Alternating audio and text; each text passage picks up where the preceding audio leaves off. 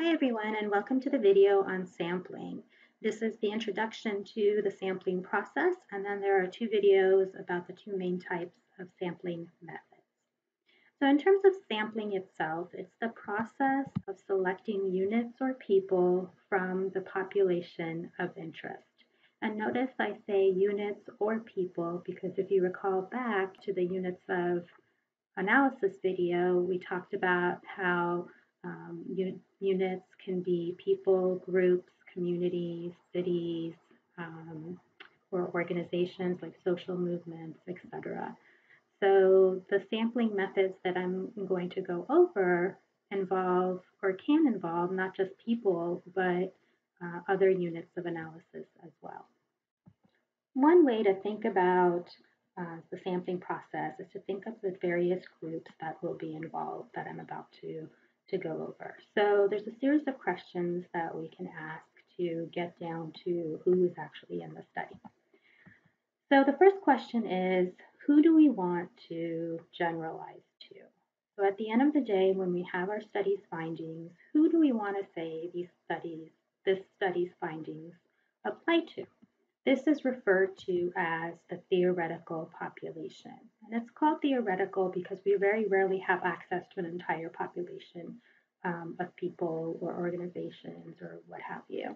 Uh, in some very limited cases, um, we may have access to a population, like, for example, if there are only a few hundred current clients at an agency and we're interested in understanding something about those clients, then we may be able to survey that entire population. But in most cases, we don't have that kind of access.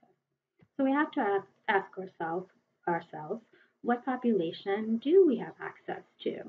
And in our case here in LA, it might be uh, some population in LA.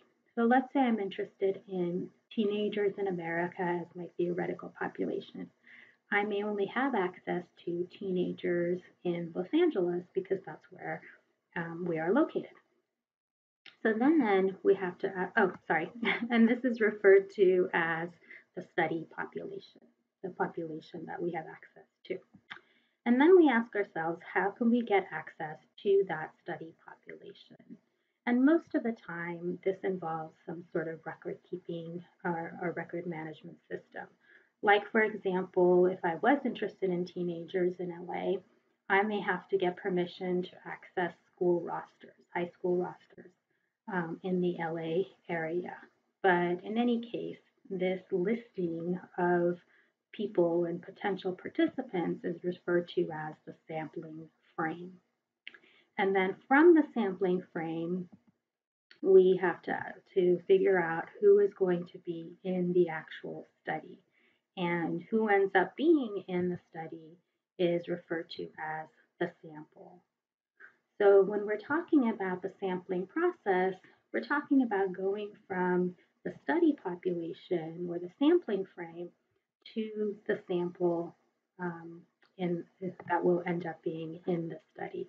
So the methods that I'll be go over, going over in video uh, videos one and two after this uh, will be about that process going from the study population or the sampling frame to the actual people who um, are in the study. Um, the reason this process is important is because of this term here, external validity. I'll define it in a second, but let me just kind of uh, backtrack a little bit back to the previous slide. So we have this theoretical population that we're interested in. And from that, we uh, go through some process to get our actual sample. There's a sampling process involved, and at the end of the day, we have our sample. The external validity question is the extent to which the findings from the study using just that sample can be generalized back up to that theoretical population or to other people, places, and times. Sometimes we do refer to this as generalizability. How well can we say that the findings from this sample can be applied to the larger theoretical population? And the answer to this question depends on the type of sampling uh, method that is used by the researchers. Just a quick note on sampling and statistics uh, versus parameters. Uh, I mentioned this briefly in one of the other videos, but I want to make sure to just really explicitly go over it here. So what I want to talk about is the difference between statistics and perimeter, perimeters, parameters between big N and little n. So generally speaking, when we're uh, writing or talking about a sample, we use little n, and any information that's produced about that sample um, is referred to as statistics.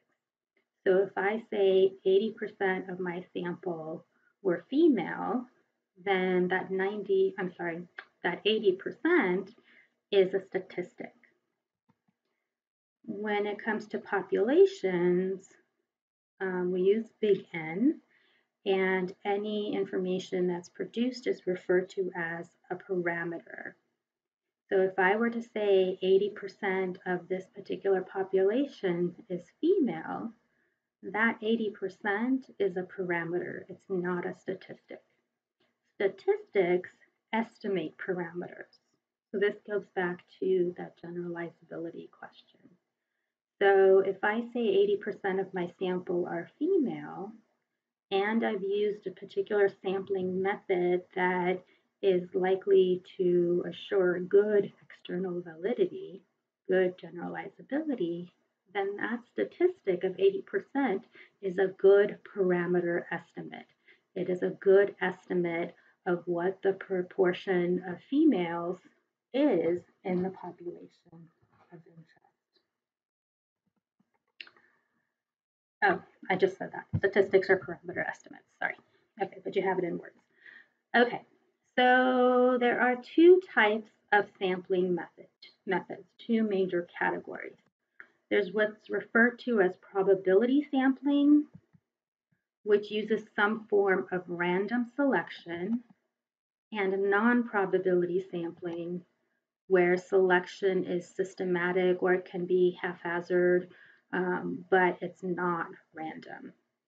So the key word here that you can see is this word random. One involves random methods and the other does not.